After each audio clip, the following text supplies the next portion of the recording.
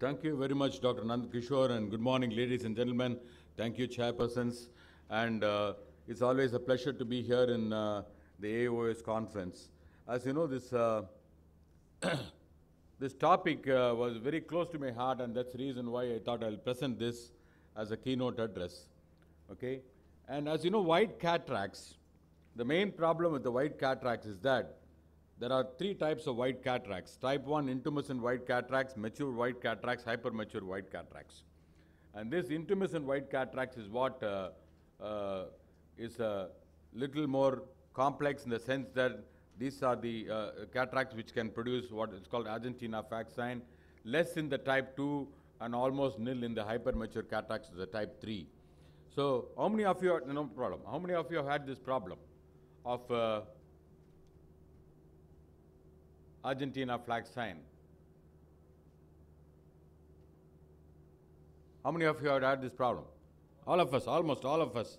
Amit Porwal, by the way, thank you very much for the sweets you had sent. Okay. okay, and this occurs usually in a very intumescent type 1 cataracts. And the, the problem with this cataract is that you can have this, this Argentina flag sign, as soon as you touch the lens, it goes to the periphery because of the increase in the pressure, intralenticular pressure. As you know, the pressure is there in front as well as in the back of the lens. And you can have a PC rupture or you can have something like a, a nucleus drop as well. So all these problems can occur because of this Argentina flag sign and is a very dangerous uh, thing as far as the intumescent cataracts are concerned. So there is a pressure in front that is underneath the anterior capsule. There is a pressure behind that is behind the posterior capsule as well or in front of the posterior capsule as well. There is also a positive vitreous pressure in these patients, uh, in these eyes and also the nucleus is very bulky. So these are the four factors which produce the Argentina flag sign. If you understand this ball game very, very, very clearly, then you will know there is a pressure there right in the front. Can you just adjust here, please? Yeah, because it's uh, some loose contact is there. Some loose contact is here. I thought I was only loose with it. This is also loose contact I was having. Yeah. yeah, bolo? Yeah. Okay. So that is a problem. You can put a 27 gauge needle into the anterior compartment and aspirate the cortex in, uh, underneath the anterior capsule. You can do that. You can uh, and take care of the problem and can do a rhexis. Okay.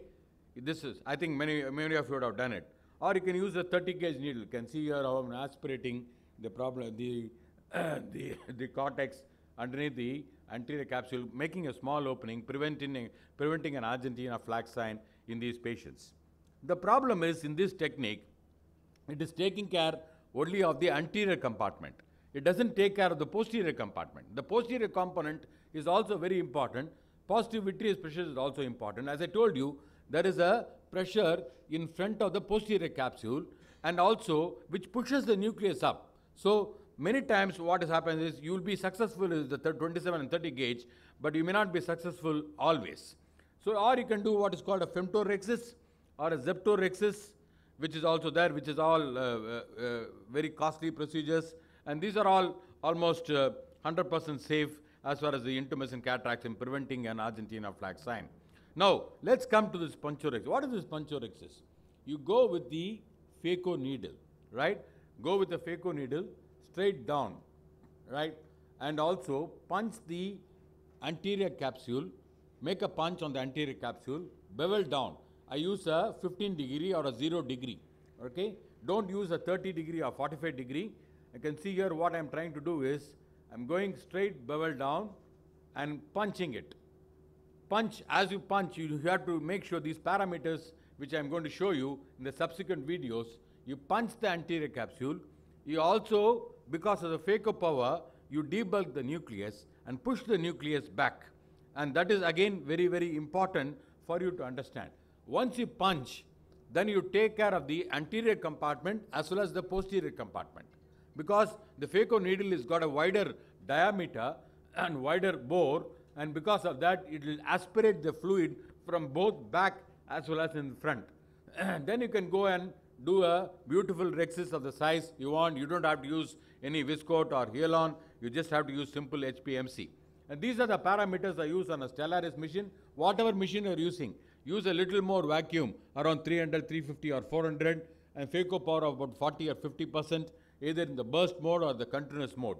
Go full throttle down, full throttle down, bevel down and go with the vertical uh, this thing that is vertically down not horizontally which I'm going to show you in subsequent videos also wherein if you go horizontally you will develop an Argentina flag sign. You need to make sure that you go vertically. You need to uh, stain these capsules with trypan blue and also you can see here how I'm trying to do this and going vertically down.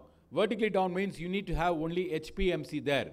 We do not put, don't put viscoat or Healon because that is going to occlude the, the, uh, the phaco tip and you don't want anything to be between the phaco tip that is the needle and the capsule when you are doing the punch. Again you can see here I'm going vertically down, bevel down with the 15 degree tip. As you go down you can see here I'm trying to do that okay. As I'm trying to do this I'm punching not only the anterior capsule because of the burst of the phaco because I'm using high vacuum punching that. You can see the, can you see the debulking or some uh, sort of a debulking of the nucleus there? That is again very important for you to understand this. So you debulk, when you debulk the nucleus, what happens is the nucleus becomes a little thing and also goes back. What happens in Argentina flag sign, as soon as it, because the pressure is there from behind and the nucleus is also bulky, it comes forward. The nucleus comes forward and, and produces the Argentina flag sign. Again, you can use a flat tip. Don't use a Kelman tip. Don't use a flat tip. Flat tip. Use a straight down bevel tip. Straight tip. Either a straight tip or a 0 degree or a 15 degree as I told you. Don't use a Kelman tip because it's got a bend. You'll not be able to produce a occlusion which is a flat tip also sometimes you may have problems like this. Followed by the phaco punch, you can do what is called the phaco rhexis also. Okay, you punch it and you don't have to use a needle or a Utrata forceps. That's with the phaco needle, it's a little, it involves a little bit of learning curve, a little bit of bimanual, wherein you need to make sure that you catch the tip after the phaco punch. You can go around and make sure that you do a good rhexis in these patients. So our study, what we did was, we did a series of about 242 eyes and punch capsular rhexis was done with a bevel down 15 degree tip using a high vacuum and continuous phaco. Once the punch was made, the capsular was completed with Utrata forceps. Setting was done in Rajan Eye Care Hospital. Don't use Kelman tip, use only straight tip. That is the take-home message. And go vertically down. Preoperative mannitol for all these patients.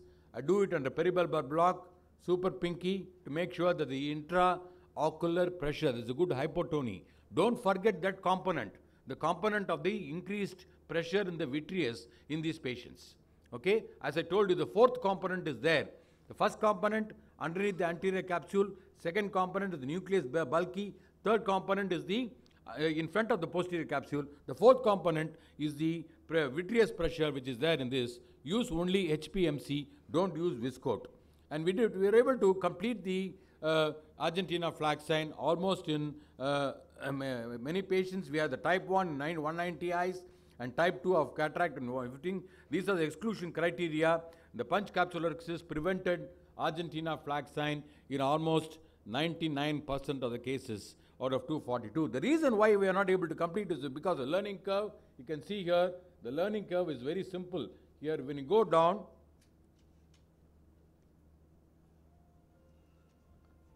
yeah, you're able to see that. See this, the, what is the mistake I'm doing here? The mistake I'm doing here is, if you go back and see the video, is that I'm going tangentially. I'm going tangentially and not vertically. If you go tangentially, then what will happen is you'll have an Argentina flag sign, right? You have to go vertically down, you have to go to, as if you are going into the anterior vitreous. So the conclusion is puncturexis is a safe and effective technique preventing Argentina flag sign in white cataracts, predictable, easy, no learning curve. I'm sure all your all of people will be able to enjoy this puncturexis. It's a very easy technique, very doable, and everybody be able to do this, and you don't require any costly procedures like the femtocataract or the zepto laser. Thank you very much for the wonderful opportunity.